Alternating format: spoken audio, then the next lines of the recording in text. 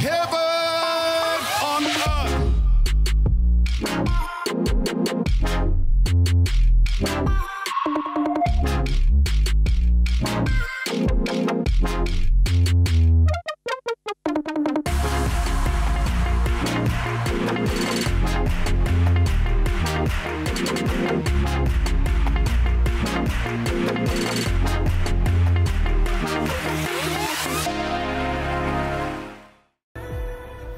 Исцели нашу землю, Отче, во имя Иисуса. Принеси единство в церковь во имя Иисуса. Обрати сердца людей, которые настроены против церкви. Как Савл, который гнал церковь. Прикоснись к ним. Пусть поднимутся люди, которые будут стоять за церковь. Прикоснись к нашему правительству. Дай им мудрость. Прикоснись к советникам во имя Иисуса. Мы просим о прорыве, о движении духа в парламенте, в президенте, в министрах. Отче, Ты поставил их, и мы возносим их перед Тобою сегодня. Мы молимся, чтобы Ты прикоснулся к этим влиятельным людям, прикоснулся к Даниилам, которым обращено ухо царя. Прикоснись к тем, кто стоит за праведность, кто рожден свыше. Мы молимся за тех, кто находится на политической арене, о силе и смелости. Мы молимся о пастырях, дай им силу и смелость. Мы молимся о христианах, дай им силу и смелость, чтобы подняться и засиять во имя Господа Иисуса Христа и сделать это смело. Спасибо, что смотрите нас сегодня. Здесь собрались десятки тысяч людей. Я хочу поприветствовать вас во имя Иисуса. Нас ожидает чудесное время. Доставайте свои Библии. Я продолжу говорить о том, как получить доступ к благодати Божьей, к престолу благодати. Я хочу еще раз прочитать Римлянам пятую главу, начиная с первого стиха.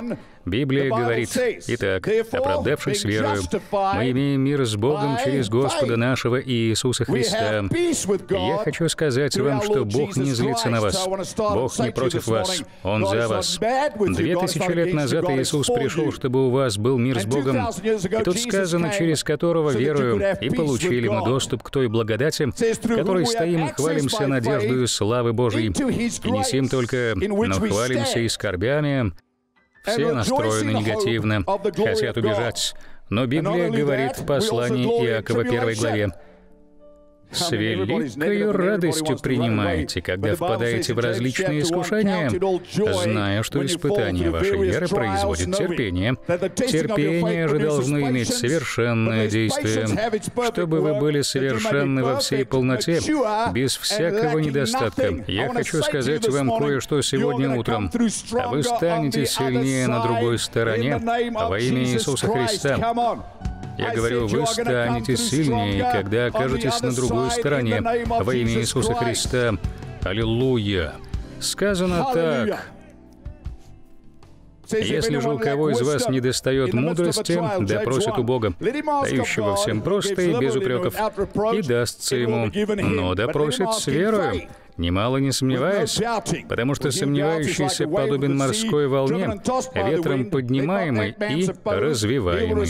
Да не думает такой человек получить что-нибудь от Господа.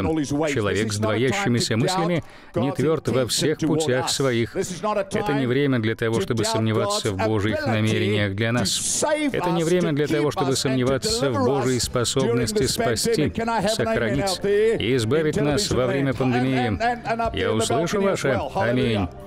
Аллилуйя. Вернемся к пятой главе послания к римлянам. Он говорит, но хвалимся и скорбями, зная, что от скорби происходит терпение. Когда вам тяжело идти, продолжайте идти. Не нужно теряться в трудные времена. Крепкие люди проходят их. Сделав все для того, чтобы устоять, мы стоим в благодати Божией. Когда Павел впал в отчаяние, Бог сказал, «Достаточно для тебя благодати». Возможно, вам кажется, что вы дошли до предела сегодня. Возможно, вы потеряли близкого, столкнулись с трудностями, трагедией. Я не знаю, но я призываю вас положиться на благодать Господа Иисуса Христа. Я хочу, чтобы вы знали, что у вас все еще есть надежда и будущее, потому что так говорит Библия. И когда приходят скорби, мы не теряем надежду, потому что есть место, к которому мы можем прийти, престол благодати. Есть место, к которому мы можем прийти среди кризисов, проблем. Есть место, к которому мы можем прийти, и это престол благодати. Мы получаем к нему доступ по вере. Благодать — это то, что Бог уже сделал для нас. Вера — это когда мы полагаемся на то, что уже сделал Иисус. Мы будем говорить об этом сегодня во имя Иисуса. Но позвольте дочитать стих там сказано, от скорби происходит терпение, от терпения — опытность. Мы не теряем себя в этой пандемии. Мы не забудем, что мы христиане. Мы станем лучше. Мы будем любить, а не ненавидеть. Мы будем благословлять, а не проклинать. Очень хочу услышать ваше «Аминь» на это. Сказано от опытности надежда, а надежда не постыжает. Библия говорит о том, что надежда — якорь вашей души.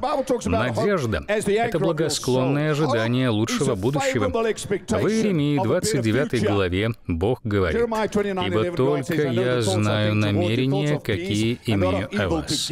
Намерения во благо, а не на зло, чтобы дать вам будущность и надежду. Я знаю, что в Пакистане вы сталкиваетесь с серьезными вызовами. Все страны страдают от пандемии, но каждая страна сталкивается со своими вызовами. Бог же говорит, что среди скорби мы не должны терять надежду. Ведь эта надежда основывается не на чем-то ложном, но на любви Божией. Бог благ, милостив. Он ваш Отец. Он силен.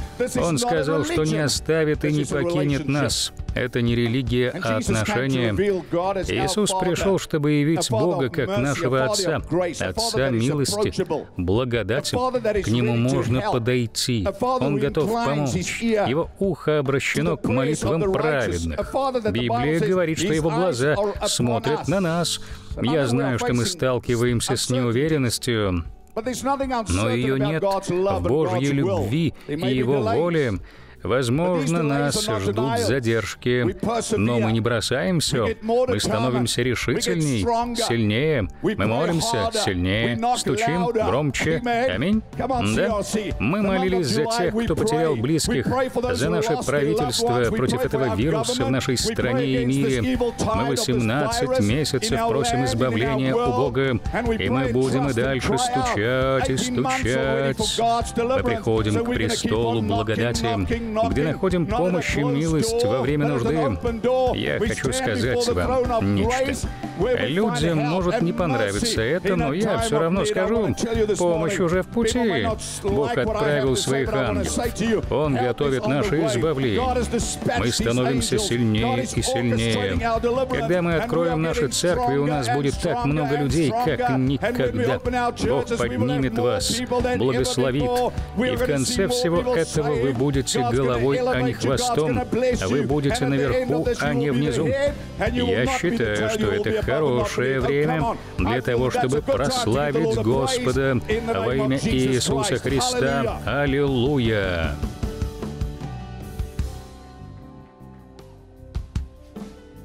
Я чуть не оглох от возгласов хвалы. Это ангелы. Сказано, что надежда не постыжает. Почему? Потому что она основывается на любви Божией. Потому что любовь Божья излилась в сердца наши Духом Святым, данным нам. Люди говорят, не стоит напрасно обнадеживать людей. Это все равно, что сказать ребенку, не жди, что отец будет обеспечивать тебя, кормить тебя. Наш Бог живой. Эта пандемия не захватила его врасплох. Люди проходили через подобное ранее. Единственная разница в том, что они не знали об этом, потому что у них не было телевидения, соцсетей, и никто не делился своим мнением. Людям просто приходилось собираться и проходить через то, с чем они сталкивались.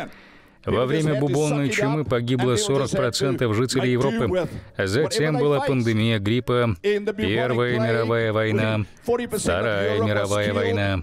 Посмотрите, через что человечество прошло за последние сто лет. А вот почему я говорю, что эта пандемия не перепишет историю и будущее церкви. Иисус сказал, «Я создам церковь свою, и врата ада не одолеют ее». Павел сказал, «Мой Бог восполнит все мои нужды по богатству своей славы Христом Иисусом». Я говорю вам сегодня утром, это не ложная надежда, потому что ваша надежда основывается на любви Божьей, а Божья любовь явилась на кресте две тысячи лет назад. Его Сын пошел на крест, ведь Он мог призвать 12 легионов ангелов, чтобы те освободили Его но он не сделал этого, потому что любит вас. Это благодать. Свершилось. Павел говорит, что мы получаем доступ к этой благодати по вере. Мы стоим в благодати Божией. Когда я слаб, тогда я силен. Когда я не знаю, Бог знает. А все потому, что я держусь за благодать Божью, которая основывается на надежде. Ей управляет любовь Божья. Я не сомневаюсь в Божьей любви. Я укоренен в любви Божьей, потому что нет ничего, что может отделить меня от любви Божьей. Никакая болезнь, голод, меч, нагота, гонение, опасность, опасность или вирус, ничто не может отделить вас от любви Божией во имя Иисуса. Я хочу ободрить вас сегодня. Я знаю, что многие из вас находятся в плену духа страха. Библия говорит во втором послании Тимофею, первой главе, седьмом стихе, Ибо дал нам Бог духа не боязни, но силы и любви и целомудрия. Силы, любви и здравого ума. Не сомневайтесь в Божьей любви, потому что у вас есть симптомы в теле. Я знаю, что Люди теряли близких, мы потеряли прекрасных членов церкви, мы скорбим со всеми, кто потерял кого-то, но это не остановит нас. Я говорил с пастырем, который потерял лучшего друга. Я видел, что он был подавлен. Один из наших охранников потерял недавно отца. Он сказал, «Пастор, мне нужна церковь». Я говорил с адвокатом, который также потерял родственника. Он сказал, «Пастор, мы хотим приходить и поклоняться Богу. Мы хотим приходить во дворы Божьи, скорбеть с Богом. Вот почему мы хотим, чтобы наши церкви были открыты. Мы хотим, чтобы люди могли найти утешение в присутствии Божьем, в безопасности. Люди должны приходить приходите поклоняться Богу, принимать утешение от Духа Святого и укрепляться. Я молюсь сегодня о том, чтобы Бог утешил вас, поднял вас, укрепил вас во имя Иисуса Христа. Несмотря на то, что было вчера, мы стоим в благодати Божией сегодня, и мы не теряем надежду, потому что надежда не разочаровывает, а любовь Божья излилась в наши сердца Духом Святым. Скажите это сегодня. Меня не волнует, как вы чувствуете себя сегодня. Скажите, Благодаря Божьей любви я хочу услышать вас через экран. Говорите это. Благодаря Божьей любви у меня есть будущее и надежда во имя Иисуса. Если вы верите в это, то скажите «Аминь» и вознесите Господу жертву хвалы во имя Иисуса. Аллилуйя! У нас есть надежда, потому что она укоренена в Божьей любви. И эта надежда не постыжает и не разочаровывает. Мы проявляем настойчивость, зная, что в конце туннеля нас ждет свет. Мы знаем, что после этого ковида наступит завтра. Мы знаем, что в нашей жизни еще будет много глав. Это не последняя глава. Мы знаем, что лучшие дни нашей жизни впереди, потому что у нас есть Бог. Послушайте, экономисты и историки говорят, что после чумы Европейцы стали чаще отправляться в путешествия, а испанский грипп привел к тому, что люди начали больше рисковать. После ковида многие страны ждет невероятный быстрый экономический рост. Скажите аминь. Аллилуйя. Так чего же нам ждать? Это пишут бизнесмены. Я не согласен с тем, что Бог говорит в Библии Это удивительно. В то время как многие христиане не согласны с тем, что говорит Бог, люди мира, у которых нет веры, говорят, что после периодов финансовых потрясений, вроде войн и эпидемий, ВВП страны начинает расти.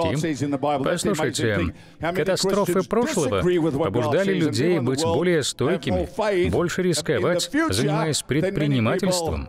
Вот почему я сказал вам в начале этой пандемии, что мы не пройдем ее, если у нас не будет личных отношений с Иисусом. Я постоянно говорю с бизнесменами, они говорят, пастор, нам нужно водительство. А я говорю им, любое предприятие с мудрым планированием становится сильным. Все это так. Но вы также должны ходить с Богом, строить планы с Богом. Вот о чем говорит Иаков. Если вам не хватает мудрости, просите у Бога. Вам нужен разум Божий. Бог знает, как превратить ваши камни преткновения в ступени. Бог знает, как привести вас в завтрашний день. Бог знает, как провести вас через зиму. Он не бросит вас. Он ваш Отец, ваш друг. Он любит вас. Он не оставит вас. Он ближе брата во имя Иисуса.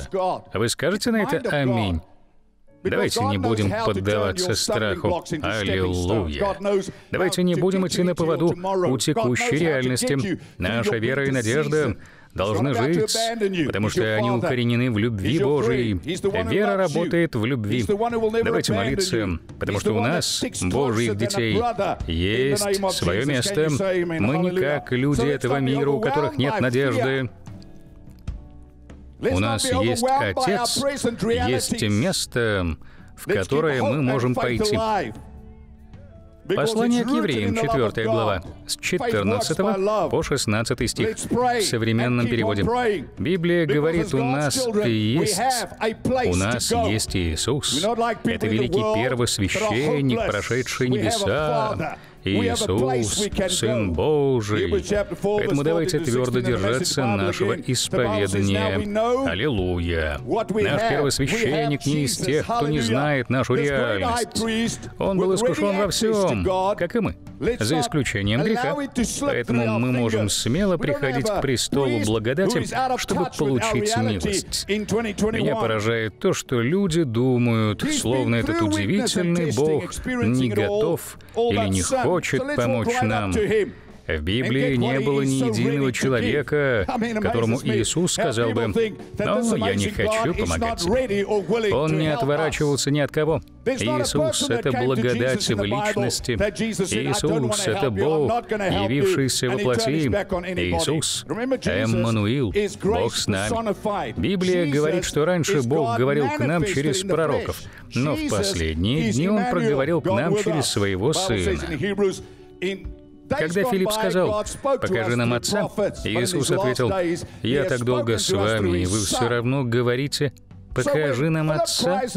Он говорит, верьте делам, которые я делаю. А какие дела делал Иисус? В Деяниях 10 главе 38 стихе Библия говорит, что Он ходил, творя добро не зло, исцеляя всех угнетаемых дьяволом, потому что Бог был с ним. Я видел это много раз. Образ Бога — это самый сильный образ, который только может быть. У многих людей извращенное представление о Боге. Многие думают, что Бог все еще держит зло на них, хочет преподать им урок. Они не понимают, что Бог сделал через своего Сына Иисуса. Они не понимают, что мы приходим к престолу благодати благодатью. Мы не заслуживаем этого. Но на престоле сидит любящий Отец, а справа от Него сидит защитник, посредник, который умер за нас, который является дверью к Отцу. Он — путь, истина и жизнь. Он — избавитель и спаситель. Он говорит, во время нужды идите к престолу благодати. Бог готов, Спаситель готов. Это радостная весть. Он готов помочь вам во время нужды. Он милостивый Бог. Он поможет вам милостью и благодатью. Это Евангелие Иисуса Христа Христа. Мы не можем проповедовать Евангелие религии, злобы, суда, потому что Отец излил суд на него две тысячи лет назад, и теперь в наше время в псалмах написано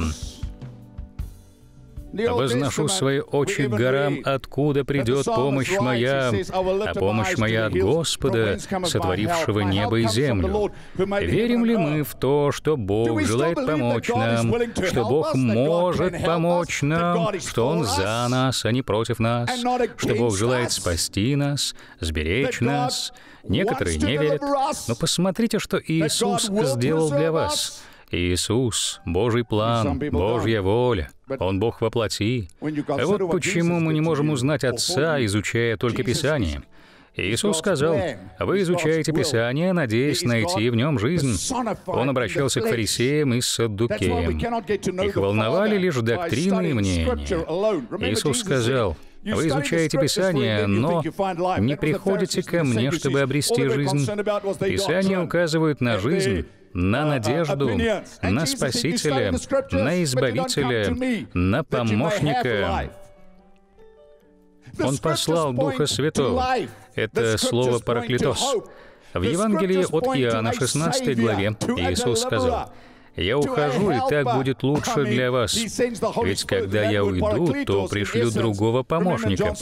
Не кого-то, кто будет судить вас, давить на вас, а помощника. Он проведет вас через долину, через темные времена, утешитель, трудные времена, когда вы теряете близкого человека. Так много лет назад я потерял отца, брата и многих близких. Многие люди из моей жизни уже перешли в другую жизнь. Они умерли от болезней, несчастных случаев и прочего. Но мы не позволяем страху сковать нас во время пандемии. Да, мы должны быть мудры, но наш взгляд должен быть на Иисусе Христе. Мы укоренены в любви Божией. Мы принимаем то, что Бог сделал для нас две тысячи лет назад. Иисус одержал победу две тысячи лет назад. Мы получаем доступ к этой благодати по вере в то, что сделал Бог. И когда мы приходим к престолу благодати, мы приходим с уверенностью, как дети. Мы не приходим как попрошайки. Мы ожидаем того, что можем получить. Мы готовы услышать «Да, Он устраивает ваше избавление». Ангел сказал, Даниил, с первого дня, как ты настроил свое сердце, я пришел избавить тебя, но князь Персидский противостоял мне много дней. Бог слышит ваши молитвы, Бог устраивает наше избавление. Это духовная война. Вот почему молитва всегда должна быть нашим первым прибежищем. Мы приходим к престолу благодати, месту безопасности. Мы знаем, что Бог за нас, что Он слышит наши молитвы. Мы имеем доступ во имя Иисуса Христа. Мы знаем, что в нужное время Он избавит вас, проведет вас. Бог никогда не подведет нас и не оставит нас. Во имя Иисуса вы можете воскликнуть «Аминь» и поблагодарить нашего удивительного Бога. Давайте поговорим об этом доступе к благодати Божией верой. Послание к римлянам.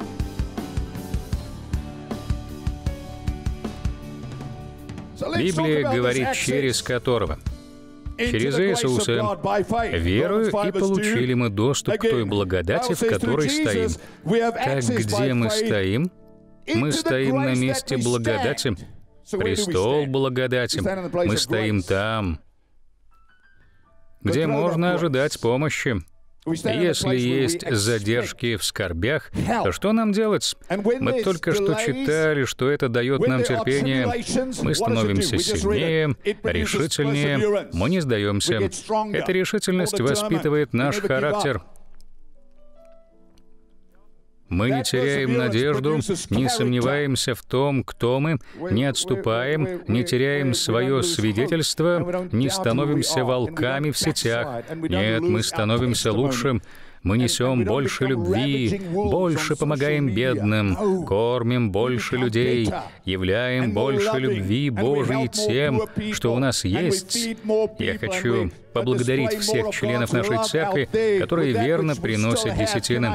18 месяцев мы не собирали десятины в церкви, но мы до сих пор кормим десятки тысяч людей ежемесячно благодаря вашей верности. Наши приюты открыты. Мы дальше спасаем женщин из сексуального рабства и так далее и тому подобное. Все благодаря вашей верности. Пусть Бог благословит вас во имя Иисуса. Мы раздали более 60 тысяч продуктовых наборов за последний год пандемии. Люди постоянно говорят о деньгах. Мы покупаем эту еду. Никто не дает ее нам. Она стоит нам более двух миллионов в месяц. Мы тратим их на помощь бедным каждый месяц.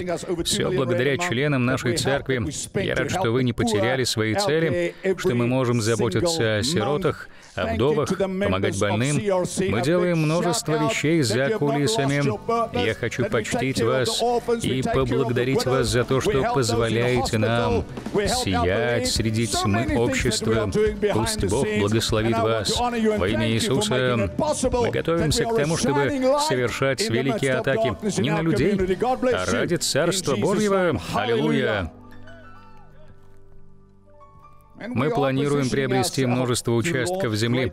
Мы будем строить церкви по всему ЮАР, будем помогать другим пастырям строить церкви, мы делаем многое, планируем. Мы не сбрасываем обороты, мы не поджимаем хвост между ног. Мы будем трудиться ради Бога и Его Царства в следующем году. Это не означает, что мы не делаем этого сейчас. За время пандемии Бог во сто крат увеличил нашу платформу. В России каждое воскресенье нас смотрят 7 миллионов человек. Нас смотрят в Пакистане, Индии, Африке. Я поражаюсь тому, что Бог сделал за время локдауна. Когда мы молимся за церковь, а люди говорят, пастор, почему бы вам не пойти в соц, сети или вести прямые трансляции? Мы делали это последние 15 лет.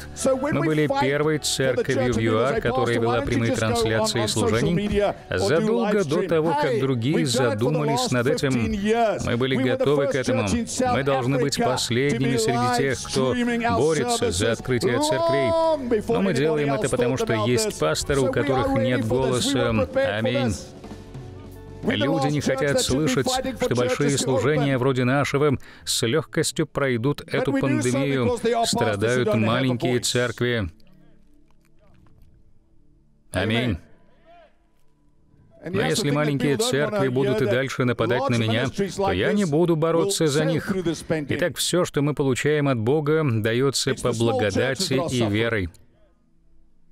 Послушайте, благодать — это то, что сделал Бог, а вера — это когда мы полагаемся и верим в то, что Бог уже сделал. Ведь так?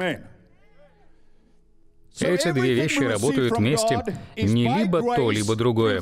Мы получаем доступ к благодати по вере, есть лагерь благодати, который не говорит о вере. Есть лагерь веры, который не говорит о благодати. Они работают вместе. Ефесянам 2 глава, 8 стих.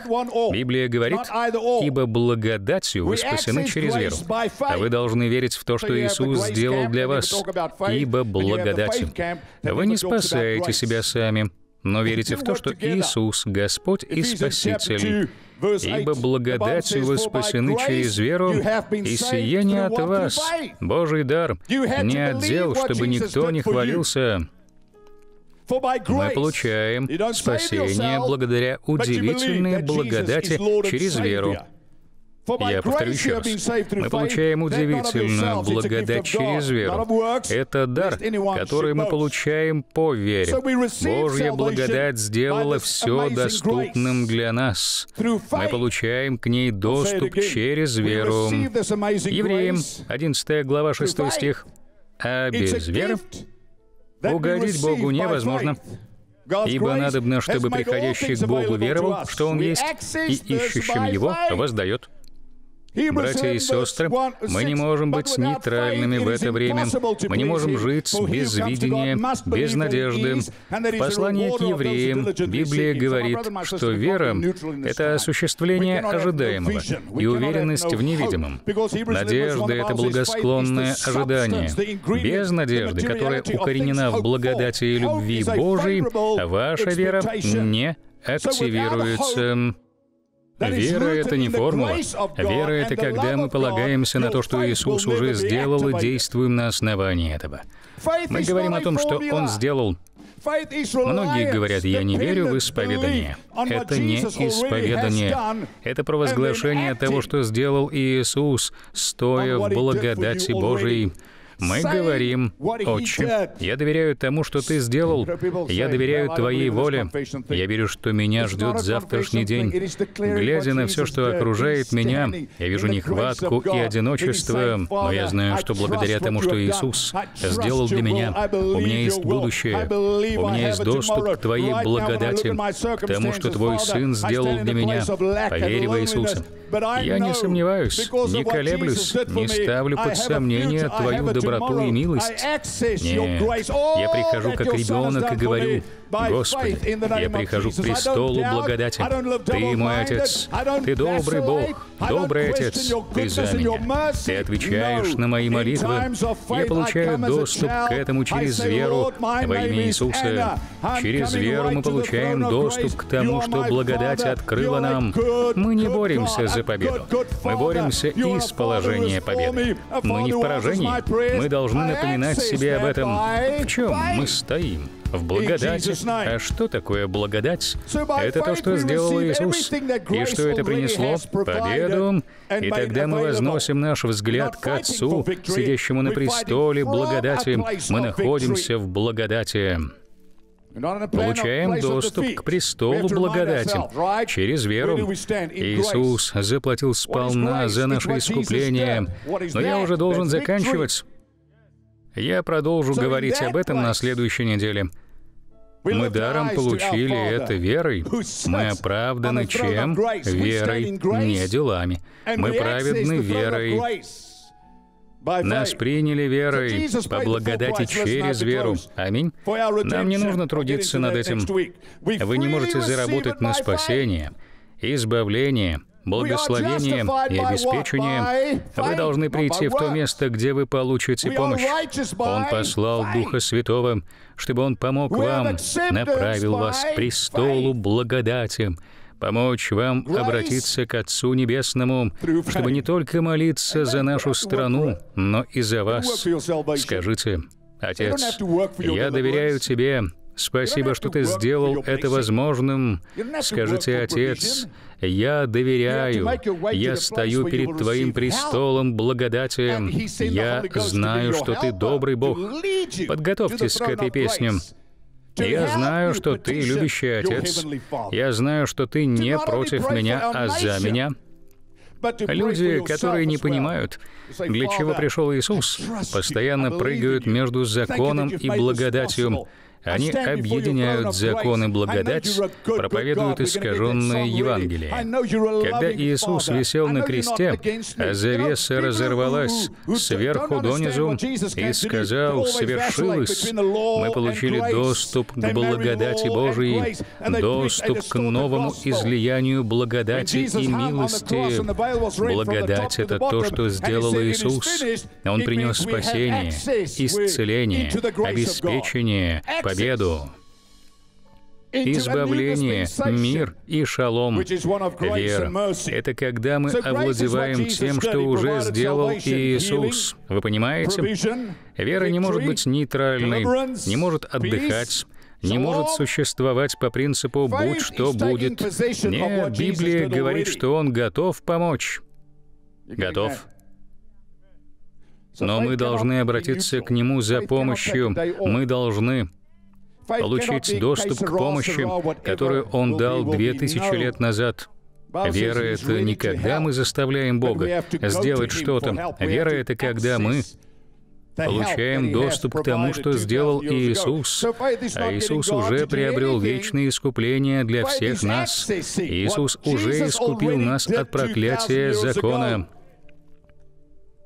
Он не сделает это, а уже сделал. Вот почему в Библии сказано, что Он искупил нас, избавил нас, простил нас и оправдал нас. Прошедшее время. Когда? Две тысячи лет назад, когда Он умер за нас. Оправдание дается, поверив в то, что Иисус сделал для меня. Я хочу сказать вам, не имеет значения, что вы сделали. Бог любит вас. Это тот удивительный факт, который не мог понять религиозник прошлого. Каждый может прийти к Богу. Грешник может прийти к Богу. Святой может прийти к Богу. Любой может прийти к Богу. Но есть лишь один путь — через Иисуса Христа. Вы смотрите меня сегодня, и, возможно, вы никогда не отдавали свою жизнь Иисусу или за время пандемии вы потеряли себя. Я не знаю, смогут ли люди пройти эту пандемию в здравом уме без благодати Господа Иисуса Христа.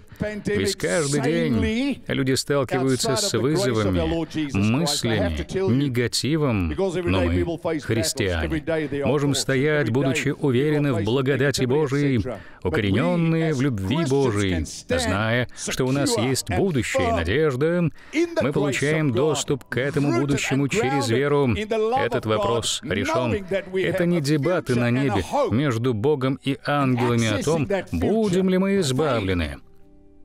Бог уже обеспечил наше избавление. Он висел на кресте ради вашего прощения. Он умер, чтобы у вас был мир с Богом. И, возможно, вы никогда не отдавали свою жизнь Господу Иисусу, или сделали это когда-то, но уже охладели. Вам нужно новое начало с Богом, и я хочу, чтобы вы сейчас помолились со мною. Положите руку на сердце и скажите, Библия говорит, что всякий, кто призовет имя Господне, спасется. Просто скажите, Господь Иисус, сегодня я возвращаюсь к Тебе. Я верю, что Ты так сильно полюбил меня, что умер за мои грехи. Я верю, что Ты Христос, что Ты воскрес из мертвых, и Ты живой. Сегодня я принимаю Тебя как Господа и своего Спасителя. Спасибо, что наполнил мое сердце своим миром, и мы молимся Тебе во имя Господа нашего Иисуса Христа. Аллилуйя!